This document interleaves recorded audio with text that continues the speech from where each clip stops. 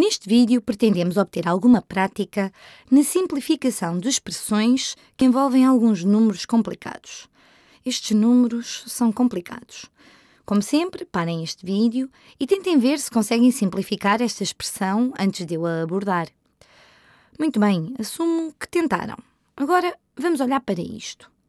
Temos menos 5,55 menos 8,55c mais 4,35c. Então, a primeira coisa que quero fazer é combinar os termos em C. E consigo definitivamente fazer isso. Podemos adicionar menos 8,55c a 4,35c primeiro. E isso seria, vamos ver, isso seria menos 8,55 mais 4,35. Estou apenas a adicionar os coeficientes, vezes c. E, obviamente, continuamos a ter este menos 5,55 aqui ao início. Menos 5,55. Vou apenas colocar um mais aqui. Agora, como calculamos menos 8,55 mais 4,35? Bom, podemos pensar nisso ou visualizar isso de diferentes formas. Uma forma é pôr o sinal de menos em evidência e fica menos 8,55 menos 4,35. E 8,55 menos 4,35, vamos ver. 8 menos 4 será, ponho aqui o menos, 8 menos 4 é 4. E 55 centésimas menos 35 centésimas é 20 centésimas. Então, poderia escrever 4,20, que é o mesmo que 4,2. Portanto, tudo isto, tudo isto pode ser substituído por menos 4,2. Então, a minha expressão simplificou-se para menos 5,55 e, em vez de dizer mais menos 4,2c, posso apenas escrever isto como menos 4,2c. E acabamos. Não conseguimos simplificar mais isto. Não podemos adicionar este termo, que não tem variável, a este termo, que tem uma variável. Isto é o mais simples que conseguimos alcançar. Vamos fazer outro exemplo. Tenho aqui mais alguns números complicados. Estes estão todos expressos como frações. E vamos ver. Tenho 2 quintos vezes m menos 4 quintos menos 3 quintos vezes m.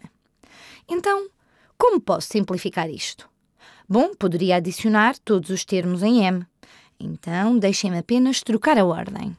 Poderia reescrever isto como 2 quintos vezes m menos 3 quintos vezes m menos 4 quintos. Tudo o que eu fiz foi mudar a ordem.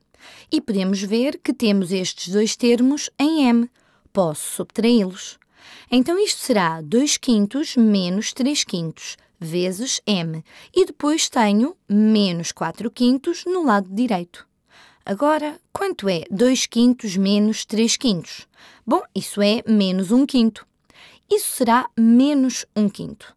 Então, tenho menos 1 quinto vezes m menos 4 quintos. Menos 4 quintos. Mais uma vez, acabamos. Não consigo simplificar mais. Não posso adicionar de alguma forma este termo que envolve o m a este menos 4 quintos. Então, acabamos. Vamos fazer mais um. Vamos fazer mais um exemplo. Aqui, e isto é interessante, tenho um parênteses e tudo o resto. Como sempre, parem o vídeo. Vejam se conseguem simplificar isto. Muito bem, vamos trabalhar nisto juntos. Agora, a primeira coisa que eu quero fazer é distribuir este 2 de forma a ficarmos apenas com três termos que vamos adicionar e subtrair. Então, se distribuirmos este 2, vamos obter 2 vezes 1 quinto vezes m, que é 2 quintos vezes m. Deixem-me tornar claro que vem este m. O m está aqui 2 vezes menos 2 quintos é menos 4 quintos. E depois tenho mais 3 quintos. Agora, como podemos simplificar mais isto? Bom, tenho aqui estes dois termos que não envolvem a variável. Estes são apenas números. Posso adicioná-los. Portanto, tenho menos 4 quintos mais 3 quintos. Então, quanto é menos 4 mais 3? Isso será menos 1. Então, isto será menos 1 quinto, isto que temos aqui a amarelo. E continuo a ter, continuo a ter 2 quintos vezes m.